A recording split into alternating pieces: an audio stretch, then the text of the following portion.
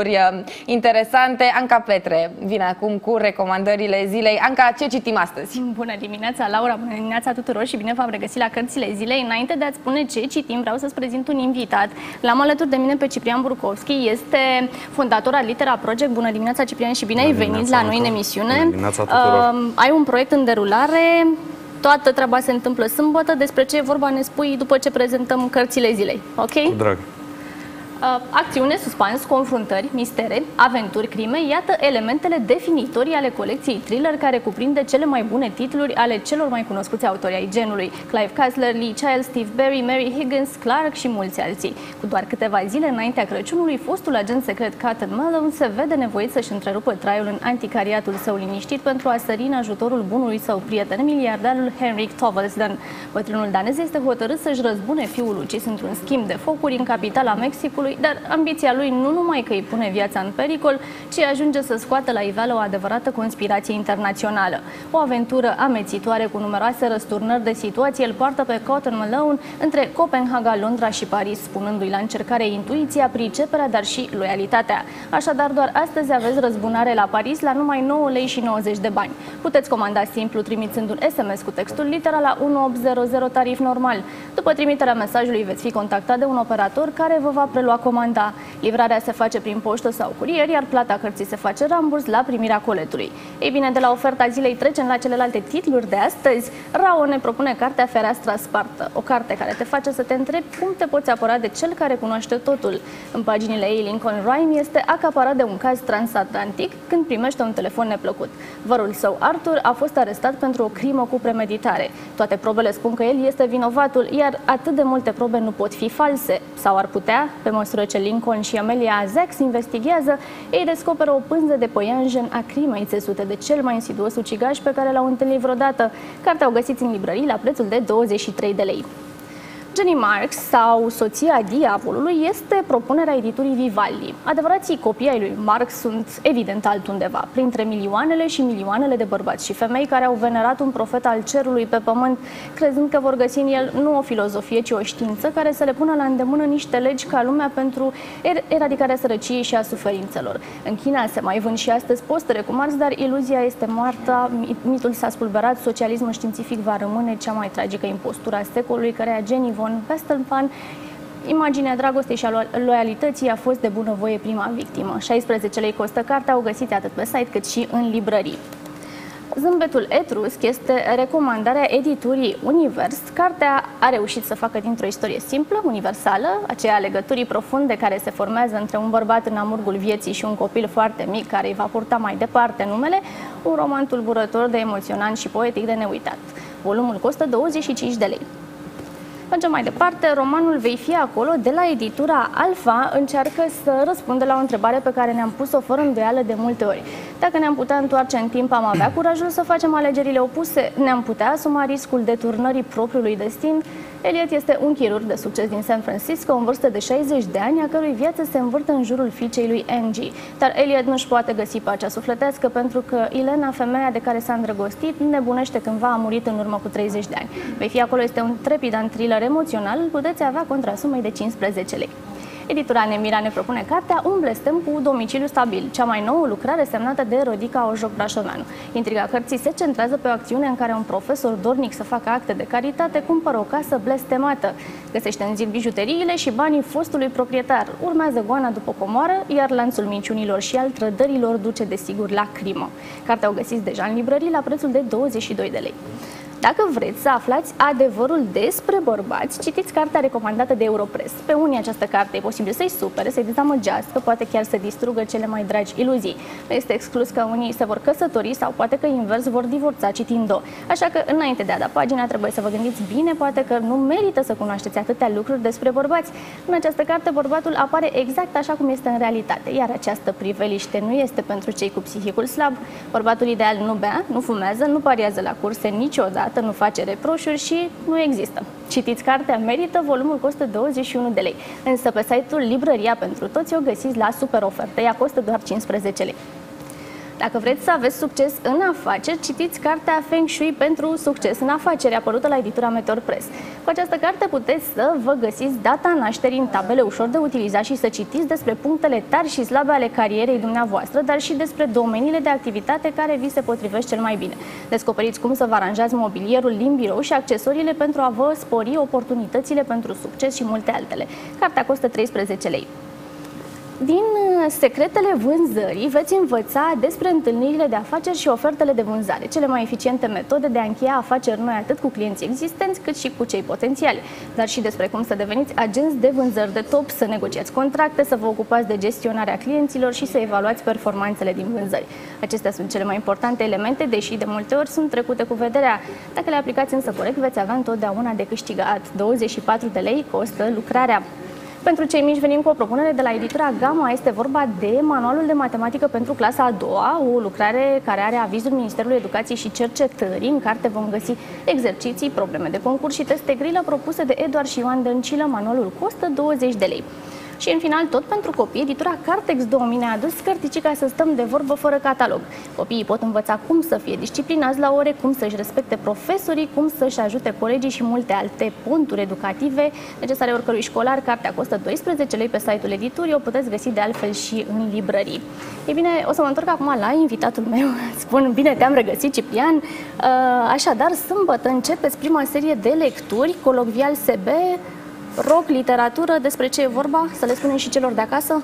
Uh, da, în primul rând, colocvial uh, SB este practic uh, componenta offline a revistei dedicate cărților, scriitorilor și, în general, culturii editoriale.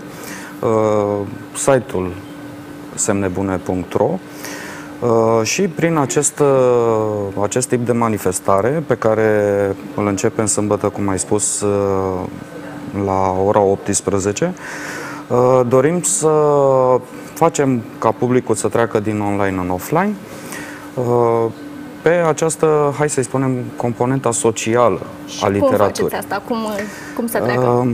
Păi, în primul rând, am decis, am constatat că este o nevoie de a scoate publicul din uh, online. Uh, pe de altă parte, vrem să aducem scriitorul în fața publicului, să nu rămână undeva doar la nivel de bibliotecă, la nivel de, uh, eu știu, doar de librărie și să ai doar posibilitatea să-l întâlnești numai când își promovează o carte sau uh, gen lansare sau un eveniment special. Și sâmbătă ce scriitori vor fi prezenți acolo și ce cărți își vor uh, Sâmbătă avem, uh, pentru că prima ediție am intitulat-o Literatură și rock. Interesant. Partea, componenta, staful editorial a propus muzici și faze a domnului profesor universitar Vidiu Verdeș, Ehm, carte în care practic găsim uh, zona uh, rock a anilor 70, hai să spunem 75-80, Uh, și o carte care este la fel de interesantă din punctul ăsta de vedere, Cristina Nemerovski, cu sânge satanic. Ambele titluri atrag, dar dincolo de titlu și de ambalajul în sine, Uh, se regăsesc niște componente dacă hai să le transmitem într-o zonă din literatură în genul muzicii uh, rock uh, ca stil. Avem pe de-o parte un King Crimson sau un Pink Floyd și pe de altă parte avem un Slayer, un Morgoth, un ceva mai Am greu, înțeles. mai rău și mai... Și mai ai o carte aici? Este tot a Cristinei, Ani cu alcool și sex. Să o arătăm? Sigur. Uh, aceeași temă. Sunt niște cărți foarte bune din punctul ăsta de vedere pentru că trecem dincolo de titlu, trecem dincolo de copertă și găsim și filozofia, și atitudinea, și tonul, și limbajul uh, zonei rock. Și ca speaker, cine va veni să vorbească, pe cine ați invitat? Uh, În primul rând, scriitorii. Autorii cărții. Sigur. Uh, l-avem pe uh, Ovidiu Verde și la, o avem pe Cristina Nemirovski în primul panel. În al doilea panel o să, practic, secvența a doua o să fie mult mai deschisă publicului, pentru că nu vrem să avem o, doar o prezentare, ci o să fie bidirecțională. Hai să le mai lăsăm un pic. Interviul, să in, interviul vadă sigur. cele. Așa. Uh, Nu ne-am uh, dorit, uh, în fapt, uh, să, f- să facem un interviu cu, cu scriitorii pe care îi uh, aducem alături de noi. Uh, În fapt, uh, vor fi invitați uh, chiar publiciști din zona rock uh, și aici o să menționez uh, Răzvan Hefe, care este identificat cu uh, trupa rock Coma care are un portofoliu reprezentativ uh, însemnând producător și realizator de emisiuni uh, și TV și radio în zona rock. Uh, Avem un uh, bătrân și greu în uh, uh, persoana lui Alex Revenco. Avem un uh, traducător de carte cu state vechi, Adi Deliu, Adrian Deliu. Importanți și cunoscuți. Vreau să-mi spui, te rog, și pe viitor cum intenționați să dezvoltați proiectul. Păi, uh, noi am ales câteva teme și pentru că spuneam mai devreme că vrem să ducem, uh, uh, să aducem în față componenta socială a literaturii și să nu rămână doar așa la un nivel uh, de nișă. Uh, Ne-am gândit uh, încet, încet să dezvoltăm chestia asta, uh, evenimentul, să, să, să putem să-l ducem, să-l plimbăm prin țară, asta pe de-o parte, uh, în condițiile în care o să avem o susținere financiară destul de importantă, pentru că logistica, evident, este mult mai mare. Uh, Temele pe care o să le abordăm vor fi tot timpul uh, altele. Uh, Acum începem cu rock pentru că a fost uh, mai de suflet, ca să Am zic înțeles. așa. Și prinde mai bine, cel puțin la început, Sigur, o rampă de lansare da, mai ne-am gândit să și accesibilă, marketăm ca să din zicem punctul ăsta. așa. Sigur. Ce vreau să te mai întreb? Am citit Te la rog. voi pe site, pe adlitera.com, că misiunea noastră este de a înlesni găsirea de parteneri de proiecte, li- pe proiecte literare, consumatori de literatură care doresc să-și asocieze brandul sau numele cu o carte, fie un nume de scriitor celebru sau un titlu apropiat de năzuințele personale. E bine, cine ar mai vrea să se implice în proiecte culturale? Vreau eu să te întreb.